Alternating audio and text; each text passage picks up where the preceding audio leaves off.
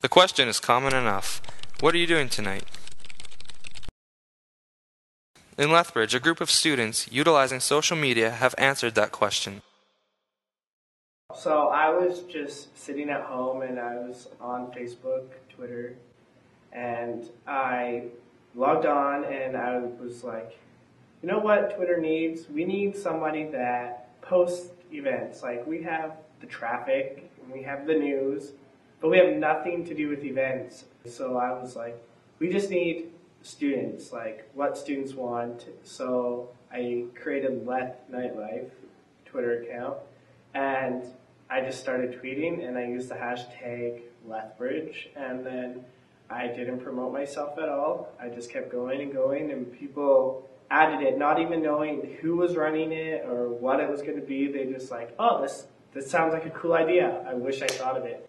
So then from there, um, I realized that I guess not very many students have Twitter, so we should maybe move to Facebook. So I created a Facebook page, and then um, from there we kept the Facebook and the Twitter, and we kept going and going for a few months. And then right after Halloween, we got the domain name lethnightlife.ca. Um, skills that I learned at Lethbridge College helped me build this website. I used a CMS system, WordPress. There was a few of my friends that wanted to help, so we would just go around and just gather anything we could find, like drink prices or food prices or events that were going to happen. And then as it started to roll, then people started contacting us. People like Jim Brown, Director of Food and Beverage at Ezzy's. Social media is a valuable tool that uh, us as restaurants, hotel owners, nightclub owners, any sort of business, gives us exposure to a wider range of uh, clientele and customers. Going back to your Lethbridge nightlife, it, it, it's just amazing the responses we get of new clients actually look at Lethbridge nightlife. Hey, I didn't know that was happening at this nightclub. Go check it out. So people would submit events, and then uh, they started adding me on Facebook and emailing me, like, can you promote this event or this event? And then from there, then people started asking if we could hold contests and give away tickets. And so now we post events and we post drink prices and we post like contests and everything. And um, we are more in contact with the bar owners and restaurant owners now than we were at the beginning. Now, local bar and club owners are starting to see the advantages that new media can provide their businesses.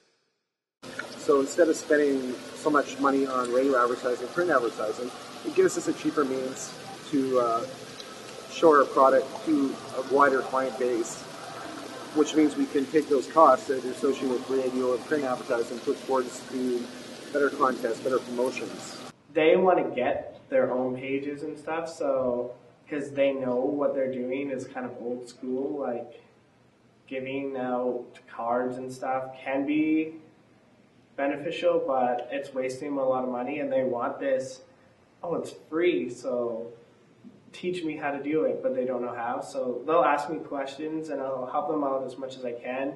And they also take ideas from what we've done, and they use it on their own pages, but they still like help us out. They still give us events, and they haven't left us in the shadow because we were the one that's kind of started the trend on Facebook and Twitter. Like there's around five bars now and clubs on Twitter that were never on there before we started, and mostly every single um, bar or club has a Facebook page now instead of a group, and they switched over, and none of them send messages to your inbox anymore. So we did accomplish something, and now we're working towards the next big thing.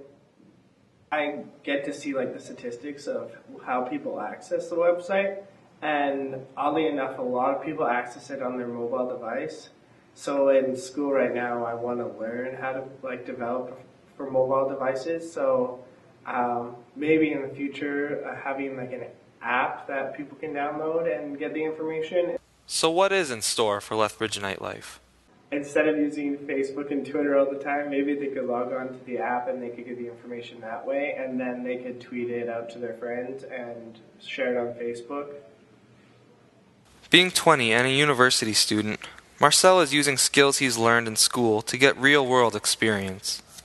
well, being a student can be hard sometimes, like with your scheduling.